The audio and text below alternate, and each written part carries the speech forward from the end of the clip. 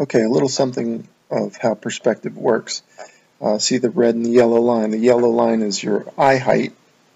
Uh, the red is the ground plane. And the ground angles up. It visually angles up to your eye level. It's on a trajectory. So uh, the way perspective works on a flat plane is that um, where that intersects, the ground plane and your eye plane intersect, is where the horizon will form because that's as far as you can see. You know what I mean? The ground comes up like a big wall. It's a big ramp. And when it gets to your eye level, you can't see any further. You cannot see any more ground, or in this case, any more water. You can see beyond it, but the bottom portions of things are blocked from view. Um, so that's the reality of our vision. Wow, look how that water ramps up to your eye level and it forms a wall incredible zooming in on that horizon. Notice the buildings behind it, the lower portion is blocked. That's due to perspective. To explain this uh, illustration briefly, um, when they say they see curvature when they're looking at the buildings, and they're saying because the lower parts disappear, they're calling that curvature, that would be on the z-axis, that's from our eyes to the horizon and beyond on the x-axis, these are the two that we're concerned with, the z and the x. The x-axis is the horizon, or our horizontal axis. And the x-axis is the one that we don't see any curvature on. They claim to see it on the z, but they say, oh, you can't see it on the x. Well, you should and you must see it on the x, and yet we do not. Okay, here we are looking over the bay. I have it mocked up here so you can um, I have the X, Y, and Z axis, and I got a line across the horizon. And you'll notice I have a guy over there on the right-hand side of the screen, and he's looking across to the left. Uh, so the point of this is, is that here we are looking across this patch of water, and the guy on the beach here says he sees curvature because the building's way off in the horizon. Once you zoom in, the lower parts disappear, so he's claiming curvature on the z-axis. Yet, um, we take this guy over here to the right, and let's say he's doing the same exact thing. He's looking across the same patch of water, and he sees buildings off in the distance, and the lower portions disappear, and he's claiming curvature. Now, his z-axis axis is our x-axis. See what I'm saying? So um, what I'm going to do here in a second is I'm going to zoom in on this whole, uh, the zoomed out shot of the uh, horizon, and we're going to scan it from right to left and we're going to show that there's no curvature on the x-axis. Yet there should be curvature and there must be curvature on the x-axis because that would be someone else's z-axis. Like for instance, if he's looking at our z-axis, that's his horizontal axis and he should see curvature because it's a ball, remember? But we don't see that. So here we go. Okay, so on the next uh, slide, I'm going to uh, blow up the slide. and I'm going to zoom into the horizon and we're going to put a straight line against it and we're going to scan it from right to left and we're going to see what it looks like. Let's go.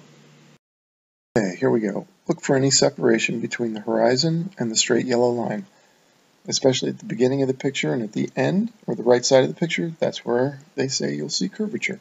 So we look and we have, uh, I put a little gap between the line and the horizon. And there we go. Looks perfect.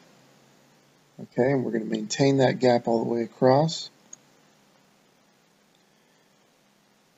You know, I can't believe they try to get away with this. You know, they say you can't see curvature, but then they see the building's lower portions disappearing and they yell curvature. But here we are. Here's the horizon. Nice long patch of horizon, and let's look at the end. Perfect. Not an ounce of curvature. Okay, I just want to say a word about um, zooming in with a telescope, there are people that think uh, that I've spoken to that uh, if you use a telescope, your horizon will be further. The stronger the telescope, the further the horizon will move away from you. Well, that's not the case. Um, the horizon is determined and formed by the ground visually angling up to your eye level. As you see in the uh, beginning of the video here, where he's zooming in across the water, you can see a horizon form, and then as he keeps zooming in, the horizon doesn't get further away, the horizon gets closer, and it gets bigger. He's zooming in on the horizon. That horizon is formed whether you're looking at it with the naked eye or a telescope. Um, all the telescope allows you to do is to see it larger. See this uh, picture on the top here? If the lines were parallel and perspective wasn't a reality, then yeah, the stronger the telescope, you could just see parallel to the ground. But the fact is, perspective causes the ground to visually angle up. And where that intersects is your horizon, and it's regardless of whether or not you're using a telescope. Parallel lines do not angle or converge towards the ground, nor do they angle towards the ceiling, nor to the left or right. They angle to the eye level of the observer. This image is a product of our eyes. These are horizontal parallel lines, yet we see them not as parallel, but on an angle towards a point in the distance. Now, of course, we know that they are parallel, but they visually are not. Here you can see parallel lines made up of bricks on the walls. The wall on the left, though, is headed out towards the horizon and all the lines angle toward the eye level of the observer. The bottom ones angle up and the top ones angle down. This is a great illustration of how the all the lines angle to your eye position. You can't deny it. All of the lines converge at a center point on the horizon called the vanishing point. Parallel lines above it angle down, the lines below angle up, the sides angle in. The vanishing point is the intersection of the horizontal and vertical axis of our eye position. It's parallel all the way out, parallel with the ground. That's why I say you can't look down at the horizon, because the horizon angles up to your eye level. The, the two, your eye level and the ground plane, are parallel all the way to the horizon.